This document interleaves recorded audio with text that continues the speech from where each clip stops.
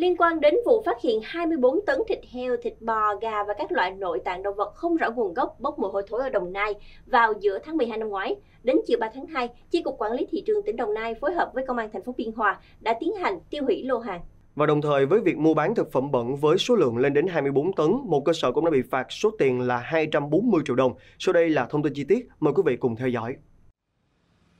Nhiều thực phẩm có dấu hiệu bốc mùi hôi thối và đang ở giai đoạn phân hủy. Qua kiểm tra hai kho đông lạnh này, lực lượng chức năng xác định toàn bộ số thực phẩm trên không rõ nguồn gốc xuất xứ. Chủ cơ sở cũng không xuất trình được giấy chứng nhận cơ sở đủ điều kiện an toàn thực phẩm theo quy định.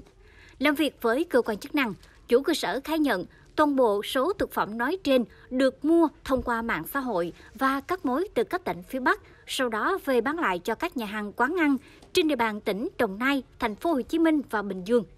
Với các hành vi sai phạm trên, Ủy ban Nhân dân tỉnh Đồng Nai đã ký quyết định xử phạt hành vi vi phạm hành chính đối với công ty trách nhiệm hữu hạn thực phẩm Long Phát, tổng số tiền 240 triệu đồng. Đến chiều ngày 3 tháng 2, Chi cục Quản lý thị trường tỉnh Đồng Nai đã phối hợp với Công an thành phố Biên